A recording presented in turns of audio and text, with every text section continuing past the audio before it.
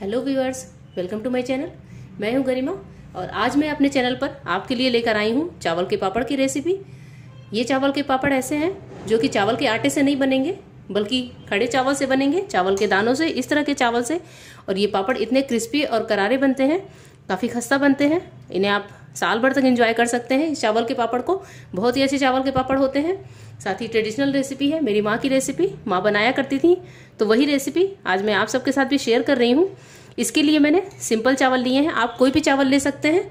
इसमें कोई भी महँगे चावल की ज़रूरत नहीं होती।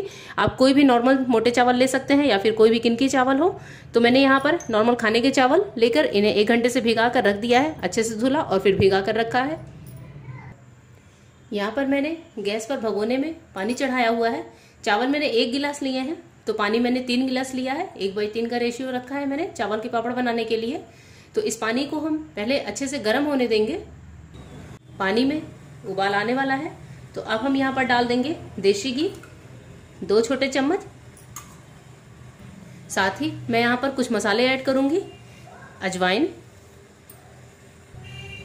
कलौजी, जिसे कि कुछ लोग मंगरेल भी बोलते हैं। रेड चिली फ्लेक्स यहाँ पर मैंने सूखी मिर्चों को मिक्सी में क्रश कर लिया है। आप चाहे तो मिर्ची डालें या फिर ना डालें, कुछ लोग को पापड़ में मिर्ची नहीं पसंद होती है। साथ ही है नमक, इन सबको अच्छे से मिक्स करेंगे। आप देख सकते हैं कि पानी बहुत अच्छे से उबल चुका है। अब इस पानी में मैं अपने भीगे हुए चावल डाल दूँगी। चावल में से मैंने पानी को निकाल दिया है।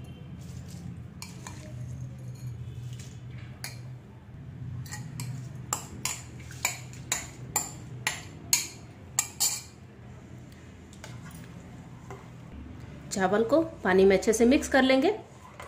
इसे हम लगातार चलाते हुए पकाएँगे, जिससे चावल की लगे नहीं और पानी इसका उबल कर गिरे नहीं।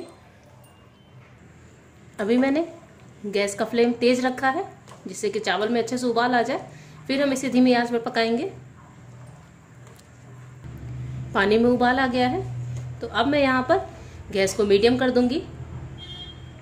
अब हमें इसे मीडियम फ्लेम पर पकाना है। चावल पक रहे हैं तो हम इन्हें बीच बीच में चलाते रहेंगे। साथ ही इसे मीडियम आँच पर छोड़ भी देंगे। पानी ज़्यादा है तो मीडियम आँच पर चावल बिल्कुल भी जलेंगे नहीं। अगर आपने पानी कम लिए हैं तो आप इसे धीमी आँच पर ही पकाएँ, ध्यान रखिएगा। तो इस तरह से जब तक चावल पककर एकदम गाढ़े ना हो जाए, तब तक हम इन्हें पकाते रहेंगे। आप चाहें तो चावल के पापड़ बनाने के लिए, जो टूटे चावल होते हैं किनकी वाले, उन्हें भी आप यूज़ कर सकते हैं। बड़ी आसानी से उन चावल को भी पापड़ बन जाएँगे। यहाँ पर मैंने खड़े चावल का यूज़ किया है। चावल पकते पकते थोड़े ज़्यादा हो गए हैं। आप देख सकते हैं कि मैंने कितना थोड़ा सा चावल लिया था और ये पककर लगभग डबल हो गए हैं। और यहाँ पर पानी की क्वांटिटी भी कम हो गई है, पानी भी उबल गया है। इस तरह के पापड़ बनाते समय एक बात का ध्यान ज़रूर रखें कि चावल बहुत अच्छे से गल जाने चाहिए। उसका एक एक दाना एकदम आटे की तरह हो जाना चाहिए। तो हम इसे काफ़ी टाइम तक पकाएँगे। खूब देर तक धीमी धीमी आँच पर। अब यहाँ पर मैंने आँच को धीमा कर दिया है और फिर मैं चावल को पका रही हूँ। जब पानी की क्वांटिटी एकदम कम रह जाए तो आप आँच को धीमा करें और चावल को इस तरह से पकाएँ। साथ ही मैं यहाँ पर ढक्कन लगाऊँगी। ढक्कन लगाकर हम इसे छोड़ देंगे। जब तक इसका पानी अच्छे से सूख नहीं जाता बीच बीच में आप इसे चला दें। पर लेकिन इसे आप ढका ही रहने दें, जब तक इसका पानी अच्छे से सूख नहीं जाता है। चावल को ढके हुए तीन मिनट हो चुके हैं तो मैं वापस एक बार ढक्कन हटा कर इसे चेक कर रही हूँ। तो आप देख सकते हैं कि चावल में अभी भी थोड़ा पानी बाकी है तो हम वापस से इसे ढक देंगे तीन से चार मिनट के लिए। साथ ही आँच एकदम सिम है, जिससे कि चावल बहुत ही अच्छे प्रकार से गलते भी जा रहे हैं। तो पहले हम इसे अच्छे से गलने देंगे, पानी सूखने देंगे। चावल को पकते हुए लगभग दस मिनट हो चुके हैं। मैंने इसे दो बार ढका, साथ ही बीच में चलाया भी। तो आप यहाँ पर देख सकते हैं कि चावल काफ़ी अच्छे से गाढ़ा हो चुका है। तो अब इस स्टेज पर मैं गैस को बंद कर दूँगी। हम इसे ज़्यादा नहीं पकाएँगे, इसे ज़्यादा सुखाने की ज़रूरत नहीं है, क्योंकि अगर हमने इसे ज़्यादा सुखाया तो नीचे से लगने लगेगा। तो अब मैं गैस को बंद करूँगी और चावलों को ढककर एक बार 10 मिनट के लिए छोड़ देंगे कि चावल का जो पानी है वो अच्छे से सूख जाएगा। तो मैं इसे 10 मिनट के लिए छोड़ रही हूँ। 10 मिनट हो चुके हैं। तो चावल हल्का ठंडा हो चुका है। अब हम इसे किसी बड़े बर्तन में शिफ्ट कर लेते हैं।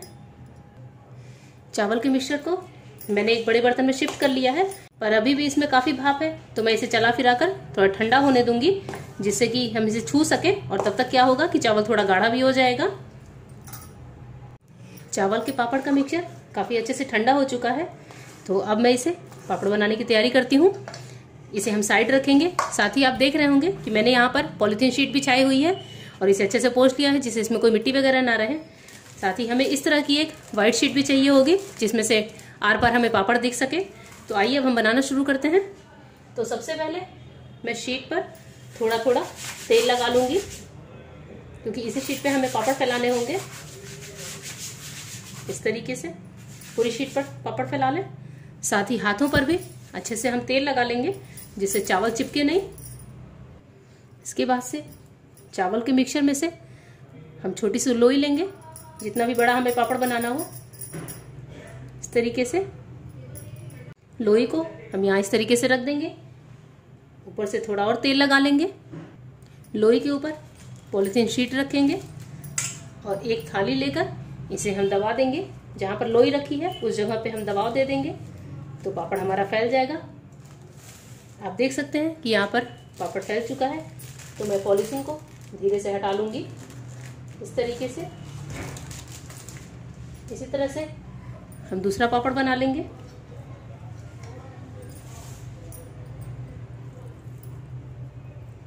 इसी तरीके से दूसरी लोई लेकर भी मैंने यहाँ पर रख दिया है। अब इस पर शीट बिछा लेंगे और थाली से दबाएँगे। पॉलीथीन को धीरे से हटाएँगे। तो आप देख सकते हैं कि पापड़ कितना बढ़िया बना है। इसी तरह से मैं और पापड़ बना लूँ।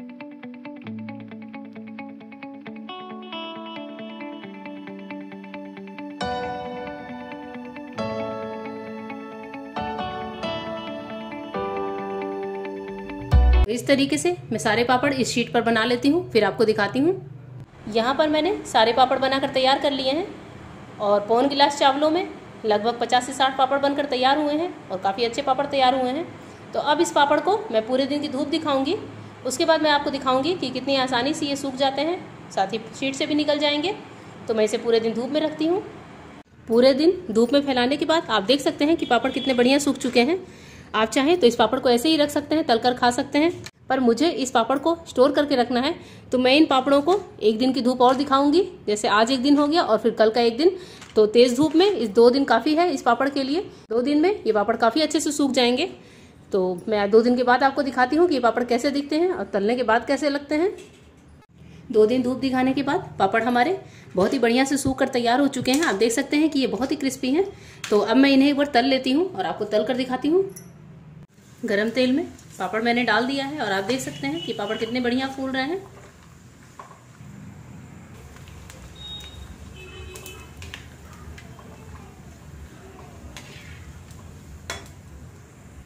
आप देख सकते हैं कि पापड़ कितने साइज़ में छोटे हैं और ये फूल कर एकदम डबल हो रहे हैं।